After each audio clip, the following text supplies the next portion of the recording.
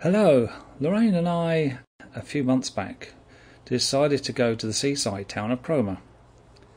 Uh, while we were there, we called in at the parish church, which is called St. Peter and St. Paul, because it's got a tower there which is 160 foot high and it's open to the public at certain times. So we went along, um, walked up the 172 steps till we got to the top, up a narrow spiral staircase, which Loraine wasn't very keen on, and the view from the top was really worthwhile the walk up there. Um, if you're ever in that area, believe me, it's the church is well worth a visit. Well, we hope you like the views. Come with us now and take a look for yourselves.